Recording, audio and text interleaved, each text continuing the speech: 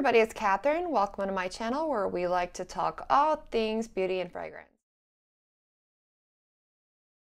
So if you guys have been following my channel, you know that I went on vacation last week. I actually went to Door County and thought it would be a fun video on the fragrances that I wore during my trip. First, I want to give a plug out to Auto Amateur, who provided me with this cute shirt. He actually has a car a channel where he likes to talk about Porsches and he uh, Porsche, Porsche, Porsche, Porsche, where he does renovations on his Porsche and, or I guess they're not really renovations, they're mods James has a channel called Auto Amateur, both on YouTube and then on Instagram. His handle on uh, Instagram is auto.amateur, and on YouTube, his channel is just Auto Amateur. Check him out if you're into all things Porsche, modifications on your automobile. Really cool. I've learned a lot from him, from him and his channel. Moving on. All right, so let's get into those fragrances that I wore last week. As I said, I went on a fishing trip with my family to Door County. Didn't want to pull out the big wigs for a trip like that. You know, you don't want to come in guns blaring to a fishing trip with your parents and sister and nephews. I went more lighter and casual on the fragrances. I'm going to talk about five different ones that I wore during my trip and what I wore them for. The first will be what I actually wore fishing. And that was Jo Malone Wood Sage and Sea Salt. I thought this was the absolute perfect fragrance for fishing. It's very light and refreshing. It's not very strong. It smells a lot like the title. It smells like beech wood with a bit of the uh, salty air, the sweetness of a breeze. It seemed absolutely apropos for fishing. A refreshing fragrance that wasn't really fighting with the other fragrances we were experiencing fishing, I will say.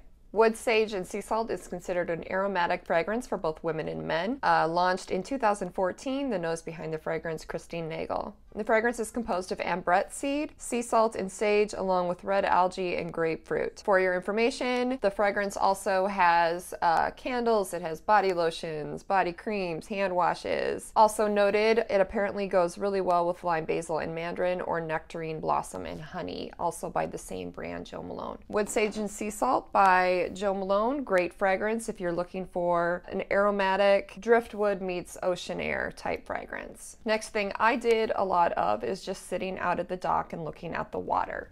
Perfect fragrance for that, being that I was donning my bikini, would be Tom Ford Soleil Blanc Shimmering Body Oil. Not as strong as the fragrance itself, but still contains that Soleil Blanc fragrance. Put a nice glaze and glisten over my body as I laid out in the sun. Also, the body oil gave it a bit of a sheen and um, hopefully was a bit moisturizing against the sun's drying rays. I have talked about Soleil Blanc before, I will link it here. But briefly, Soleil Blanc is a fragrance by Tom Ford. It's considered an amber floral for both women and men. Launched in 2016, nose behind the fragrance is Nathalie Gracia Graciosetto. Top notes pistachio, bergamot, cardamom, and pink pepper. Middle tuberose, ylang ylang, and jasmine. Base notes coconut, amber, tonka bean, and benzoin. It's a very floral, ambery fragrance. It's strong in the ylang ylang and the tuberose. You can smell the coconut. I'd say it's a quarter coconut, two quarters floral, and then that one quarter amber. It's sweet and rich without being completely overpowering. It is a stronger of a fragrance, so keep that in mind. It's not like your uh, wafty floral, it's more of a weighted floral scent. Soleil Blanc by Tom Ford, great fragrance for laying out and enjoying those sun's rays, with SPF of course. Next thing we did was go see Lambeau Field and watch a scrimmage game of the uh, Green Bay Packers. And to that, I wore Burberry Her. Burberry Her, uh, a nice I'd consider it essential fragrance. It's not overpowering. It's more of an aldehyde synthetic fragrance similar to Baccarat Rouge 540. Again, also created Francis Kurkdjian. It's a sweeter floral fragrance, but still kind of evened out with that underlying base notes that kind of mellow it out. I've talked about Burberry Her before as well. It's launched in 2018. It's considered a floral, fruity, gourmand fragrance for women. Top notes strawberry, raspberry, blackberry, sour cherry, black currant, mandarin orange, orange and lemon, so very fruity of those opening notes. Middle notes violet and jasmine, base notes musk, vanilla, oak moss, cashmere, woody notes amber and patchouli. It has a very strong, fruity, sweet opening, but then a very subdued, mellow base. Burberry Her is probably one of my most worn fragrances lately. It's an easy go-to fragrance. It's really uh, suitable for almost any situation. Maybe not those fancy, fancy nights out, but pretty much every other situation. It's great for day wear. It's great for night wear. It's great for cuddling up on the sofa. It's also great for a movie date. It'd be a very appropriate appropriate professional fragrance, and for me, it was the most suitable fragrance to go to Lambeau Field with my family. Nextly, shopping. And what fragrance would I wear for shopping?